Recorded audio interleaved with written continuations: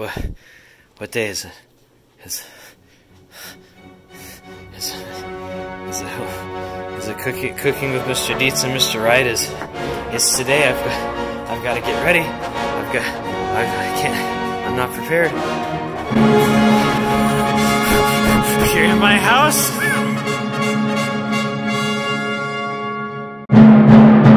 Hey kids, back at ya. We're at Hebe to get our ingredients for cooking with Mr. Wright and Mr. Dietz. All right, so a highly requested YouTube video getting done today. Hebe. Remember, safety first. Wear your mask. Yeah. This is a thing you can buy.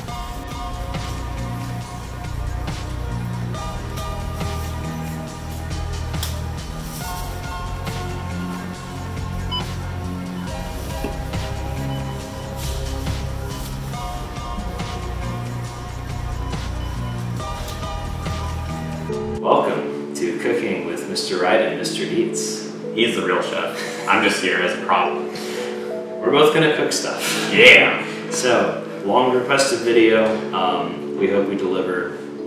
Let us know. You will. This is going to be a surprise cooking video. You're going to see what we're cooking, but you won't see the final product till the very end. I hope you guys enjoy.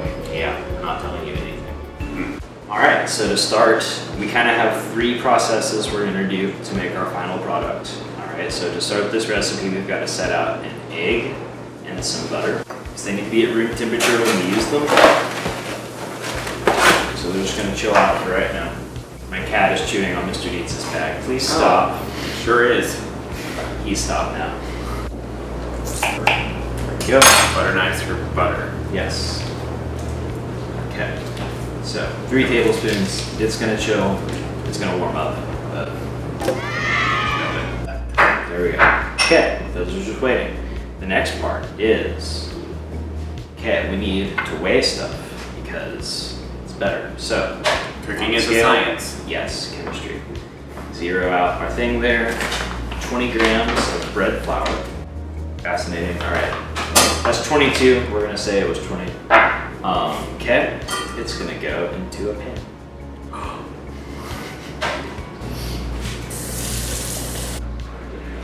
That was a lot. That was 36. You're not supposed to pour back. You're supposed to start over. Oh well. Okay. 27. We're gonna go slow this time. We're at 26. 27. Okay, water also into the pan. Nice. Okay, final thing, milk. Not spilling the milk, very important. Someone will cry. Not doing it. 70 up, 67, 66. We had a little extra flour, we're gonna call it good. Good.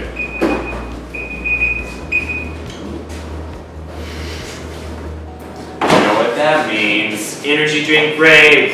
Yeah. Okay.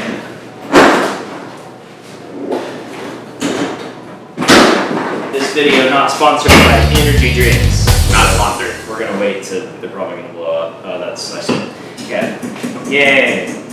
It's it's 6:30 and we're just starting, so we, we need we need energy drinks. This is gonna go a long time. Yeah. All right, so Mr. Dietz is stirring our mixture there of the flour, milk, and water. Anywhere from 30 seconds to two minutes, we're just gonna let this thicken up into a paste-like substance. We're gonna help it out with some extra flour because it's not very thick yet.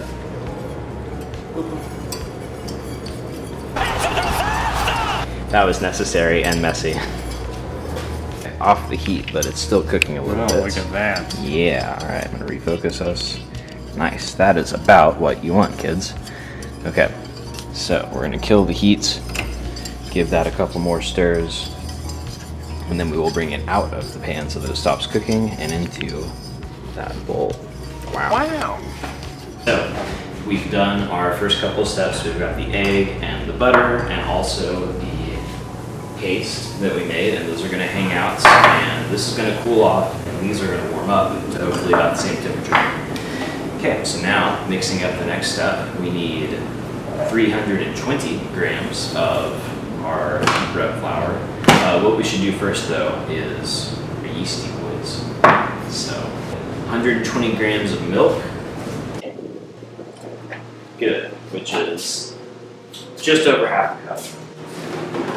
We're at 120 grams. We nailed 120 perfectly. Don't look at this. Nailed it. Okay. It needs to be about 90 degrees, so we're gonna microwave it. 10, 9, 3, 2, 1.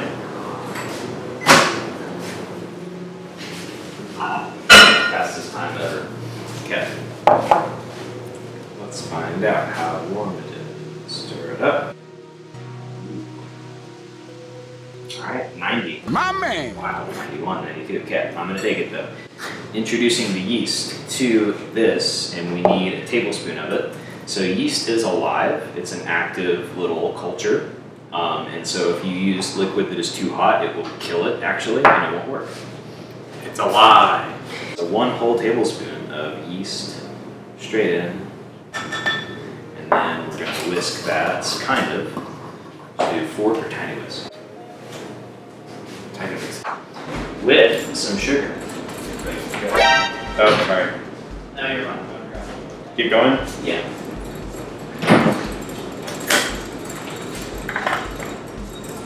Pinch of sugar. It's um, hungry. Yeah, and we're gonna let it stand 10-ish minutes while we put everything else together, and it will start to foam and get nice and active, and the sugar will help it, you know, do its thing. So that's gonna show out over here. Eat. it's like eat, but there's no eat. Okay. Um. 320, and we're gonna be very close to actually having 320 grams. I used a lot of this this weekend. Ooh, all right. We're gonna I'll, I'll take it. I thought we wouldn't have enough. That was 56 grams. Right there. Ooh. All right. You want to scoop? Sure. 56 grams. 56. Call it. Yep. Nailed it. Salt. We're gonna say it says three quarters of a teaspoon, but that's weird. So teaspoon of salt. Teaspoon. So that is actually all of the ingredients for the first thing. So uh, we just gotta wait for that to do its magic. So On to phase two. yeah. Next thing that we're uh, making here, we need um, only three ingredients. We need sugar, which we've already got. Sugar. We need lemons, which are over there. And we need strawberries.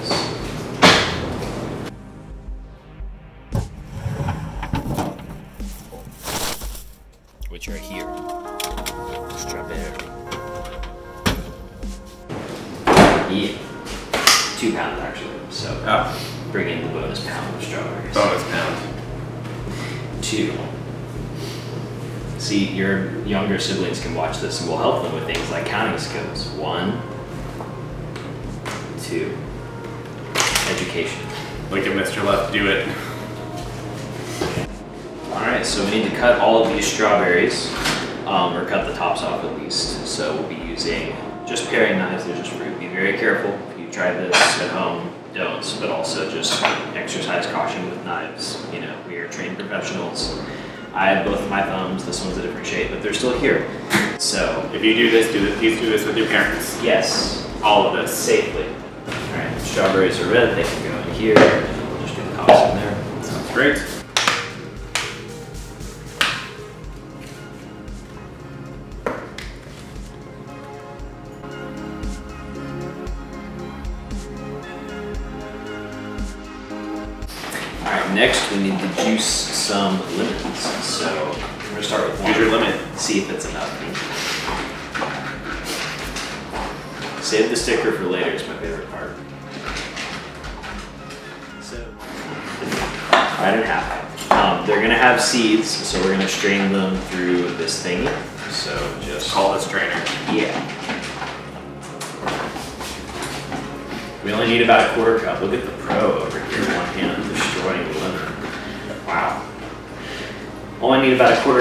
Juice, and these are large, so we're gonna see like where we're at. Let's see what we got. It's going into this bowl anyway, so.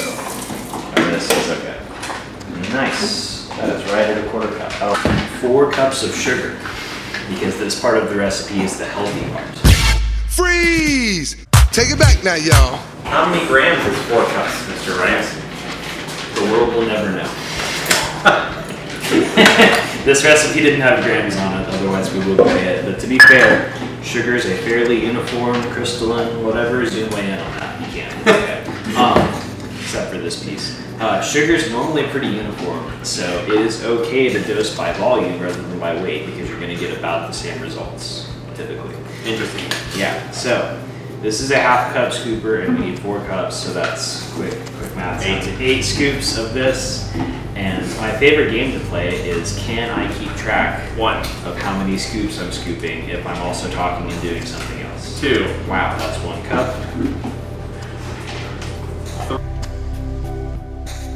eight. Yeah, that is good. That is most of my sugar. So uh, again, lot of sugar. It's a healthy recipe. Good, jumping around. So we kind of paused for a second and did some strawberries for the other, uh, you know, thing we're doing. Back to the first process. This is our yes yeasty mixture that is now super foamy. I don't know if you can see that, but let's pretend you can. So it's ready to go. So into the bowl of our stand mixer here. We're going to add to that our flour mix. So this is flour, sugar, salt that we put together earlier. Okay, our paste that we made very first in this bowl.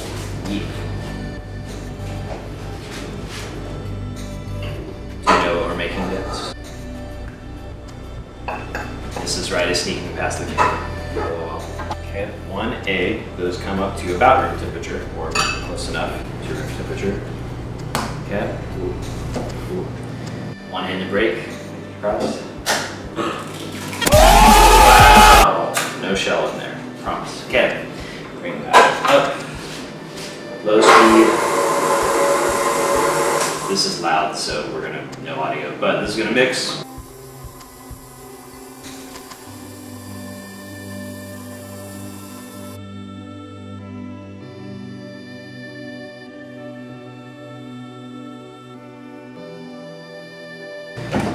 Okay, so the dough is nearly together, so we're going to go ahead and add three tablespoons of now mostly room temperature butter that will incorporate to the outside of the dough.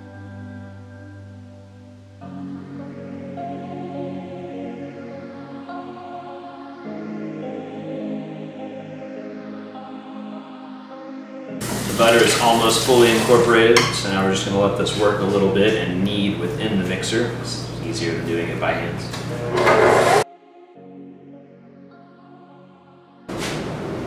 We're going to take it out of the pan, off the hook, and just form it into a ball. And then it's yeasted, so it needs to rise for hopefully an hour, maybe a little longer. All right, out of the bowl. And this is a little bit tacky because it's got high moisture and there's butter in it, so a little bit sticky. what that means. A little bit sticky, whatever. Thank you, Mrs. Right. okay, so we just want to kind of form.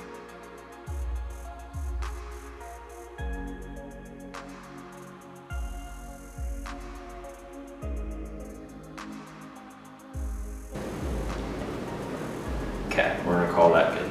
Into a greased bowl for about an hour. It will almost double in size. All right, dough ready to rise until it's about double. My favorite food route, I'm never running out, ever, never. All right, so to proof in a good proofing environment, can you open the bottom oven? We're gonna slap this bad boy into the oven.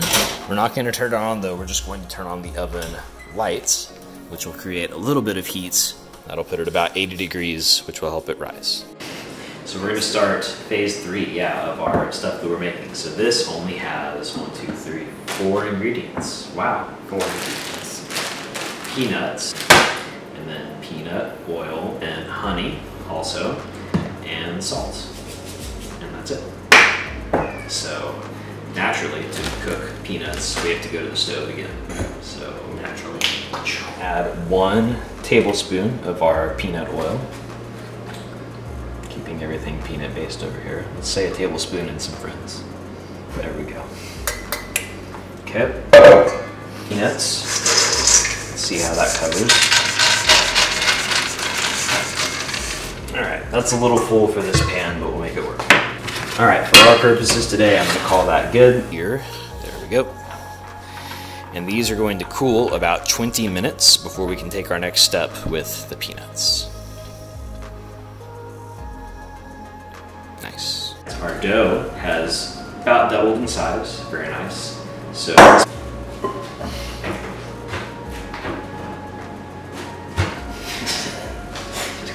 All right, of our bowl. Work surface. And just go there, I guess. We're going to roughly, doesn't have to be perfect, we're gonna roughly divide it in half. This is our loaf pan that we're actually gonna bake it in. So we're gonna roughly kind of stretch this to about the length of our uh, loaf pan here. Doesn't have to be perfect, but it needs to be pretty close. And then same with this guy. We are going to roll out each of these. I'm gonna move this one. So a little bit of flour on our rolling pin so it doesn't stick, and a little bit on the dough, just a little bit.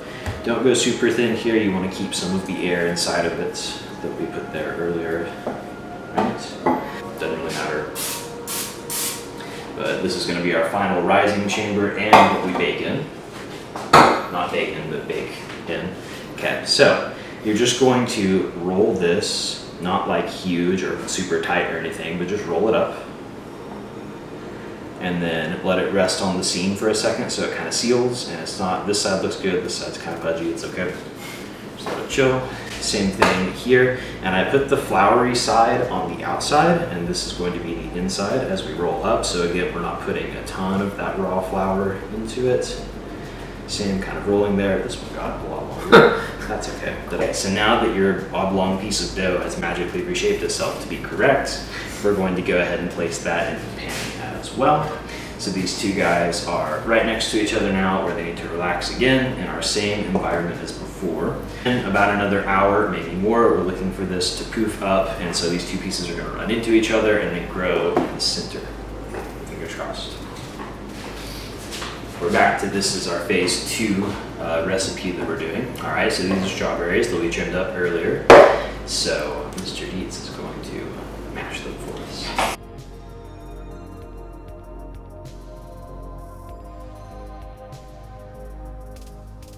pretty much good. Very nice.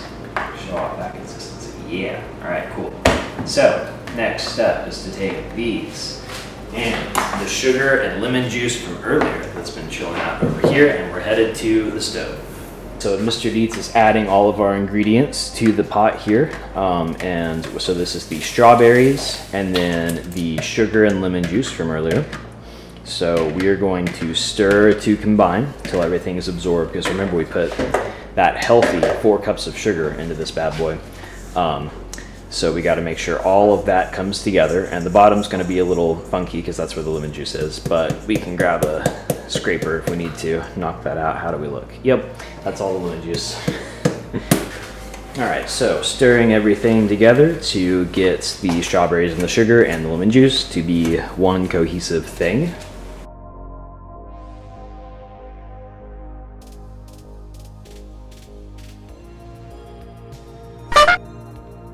Can see here, just over the edge of the pan, we have started our boil. Look at that, very nice. So now we're going to let this go almost 10 minutes, boiling, stirring, every now and again to make sure nothing's sticking.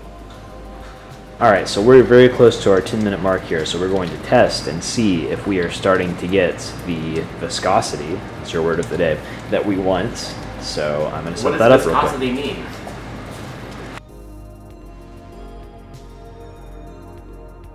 So our test to see if this is working or not is we're gonna put a little bit on this plate that has been in the freezer. It's very cold. It's very hot. It's gonna go in the freezer for a minute. So We're gonna come back and drag the spoon through it and see if it stays separated. That'll tell us if we have the development that we want or not. Okay, so first test here. I'm just gonna take my finger through this and we're trying to see if it runs back together, which it's starting to, but not really. So it's pretty close to what we want. I'm gonna say we're gonna give that a little bit longer and then test it again and see how we do. If it came back immediately, it would be too thin. This is kind of waiting, but you can see right in the center it's about to. So we're gonna wait and try again Um, let's say two more minutes. We're very close. And there's the plates, and we're gonna drag through. Nice. Look at that. Look at that. Okay, cool. I would say that's good.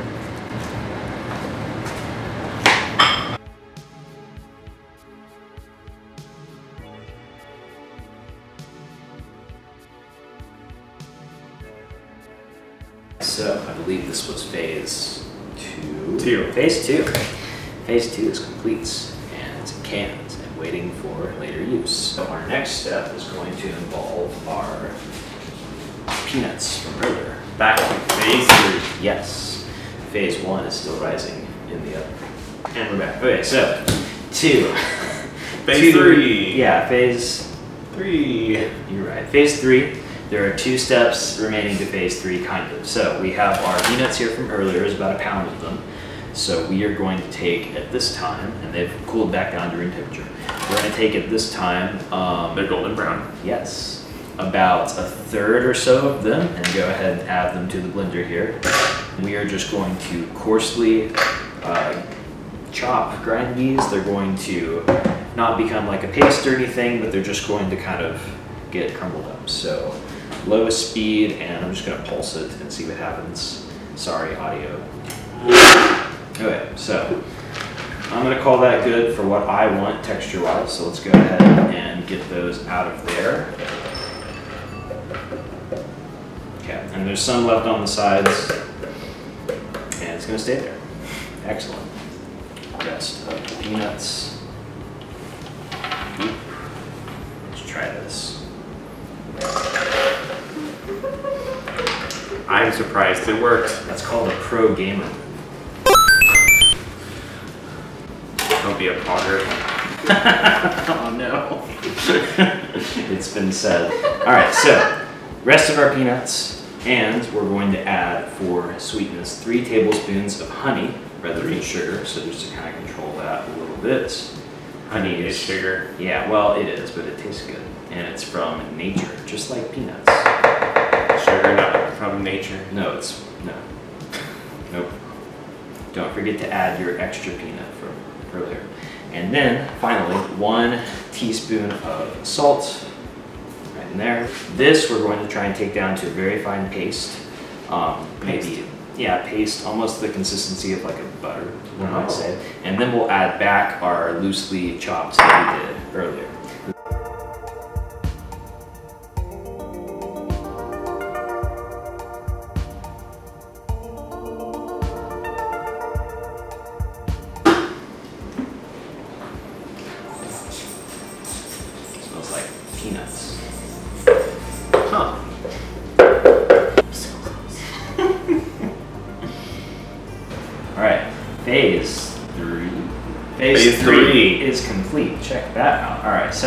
We're gonna let it cool slightly because you know it was warm.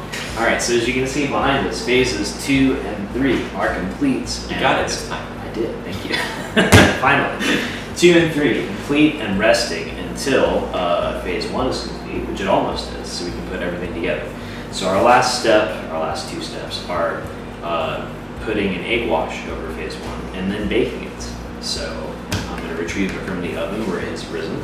So phase one has risen. Remember those two like shapes that we made put in here? Now they are like all the way literally over the top, and they'll probably rise a little bit more when they bake. Ideally, So, Mr. Craig, what goes in an egg wash? egg, but also milk in this case. So uh, let's get both of those things. The purpose of doing that is if we just bake this as it was with no extra, you know, frills, it would brown okay. But if you do an egg wash uh, and all of that, it will brown more evenly and it'll have a nice color to it. Um, it'll have a nice color to it Y'all. without having to bake super long because if you overbake it, it would burn, obviously. So this is going to help us achieve some even coloring on the tops and the sides by adding some egg wash. Egg wash. Action. Mr. Dietz is not crying. Okay, so. I'm sorry. Um, egg wash. All we need to do is take an egg. This did not have to come up to room temperature this time. One-handed crack.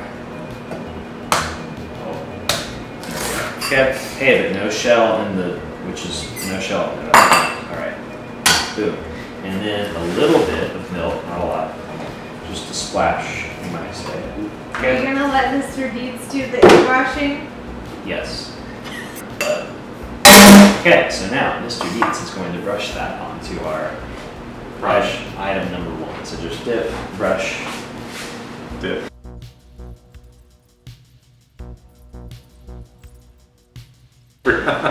We are preheated to 350 and we will bake. Um, so, yeah, we will bake this for. We're going to check it after 30 minutes and we will see what's going on. Alright. Into the oven. Let's call it 30 minutes.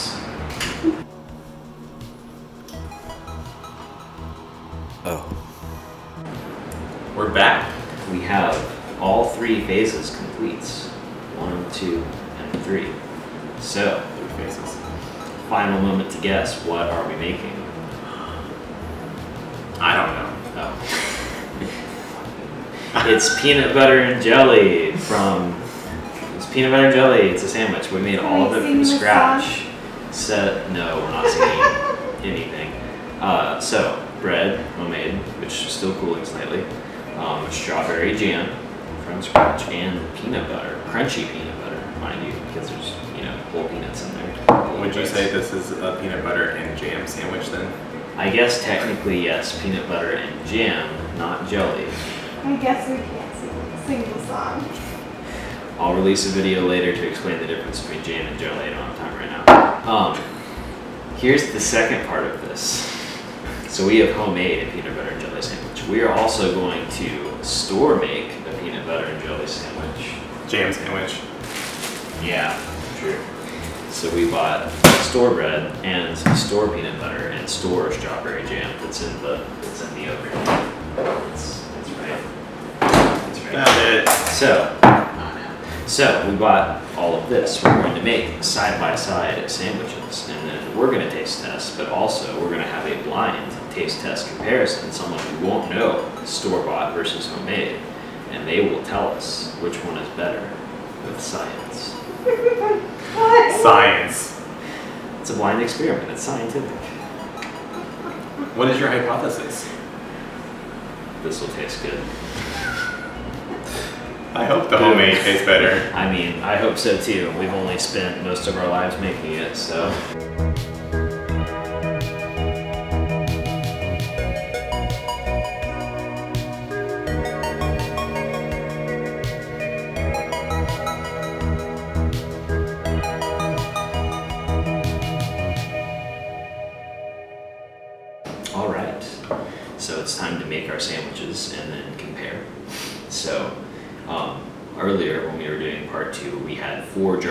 Jam. All right. So this jar is still setting up. It's not totally there. This jar, because we already had an E in it, is totally set. So as you can see, it is ready to jam out. So we're going to use this on the sandwich. It's the same stuff. This is just done. So kind of convenient actually, but there we go. Um, I'm gonna cut this first. 'cause the other bread's already sliced because, you know, store bought.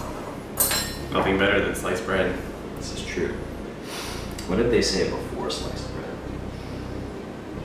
The wheel. Yeah. Alright, so we're gonna go in half first, and I'm gonna try and cut, that's very smooth actually. I'm gonna try and cut about the same thickness over here so that um, one doesn't feel heftier than the other or anything. That beautiful bread cross section. Very uniform crumb structure, which is what we want, but guys never been on a food show before. So, um, yeah. I-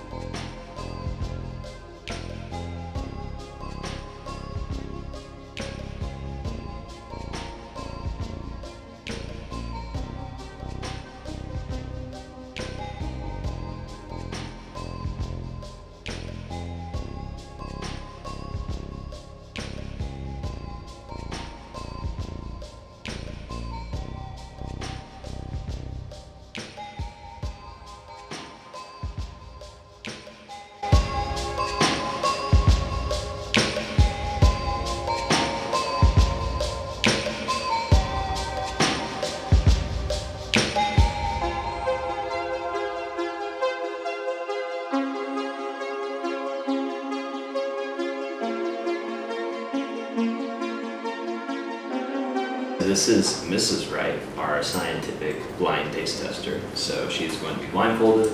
Mr. Dietz has the plate of sandwiches over there. Um, so he's just going to bring it in, and we're going to tell her which one to pick up and try, and then she's going to tell us which is better, A or B, and then we'll reveal which was which. So sandwich A, let's say, um, you're left-handed, let's say right there. That's going to be sandwich A. Go ahead and pick that up and try it,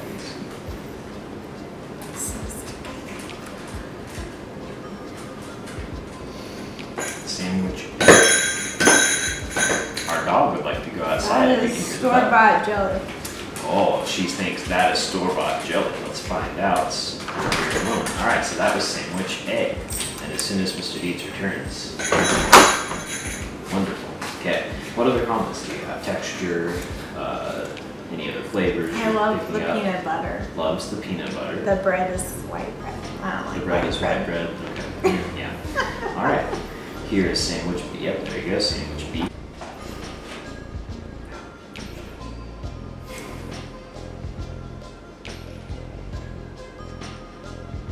Bread is chewy. Bread is chewy. Peanut butter is good. Peanut butter is good. I have strawberry seeds. Mm, Strawberry seed, she says. That's not bad. Not bad. If you had to pick which was better, sandwich A or B? I mean, maybe. I B for better sandwich. B for better sandwich. B for better sandwich. High Yay. five, Mr. Dietz. Yeah. Sandwich Sandwich B. B was ours. I can't see anything. I mean, hey, so she had not tried those before we, we did that, and I mean, you could say her opinion is biased maybe, but sandwich B, our sandwich Yay. is. Now we get to try them. So this is ours. You can go for that or whatever you're feeling. More crust. I like it. All right. So our sandwich. Yeah. Cheers. It's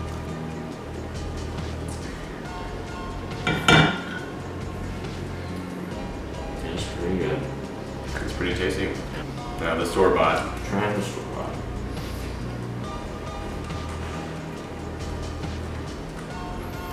Uh, already you can tell it's different. Yeah, I mean, the, the texture of the bread is much denser. It's not a good or bad thing, but it's different.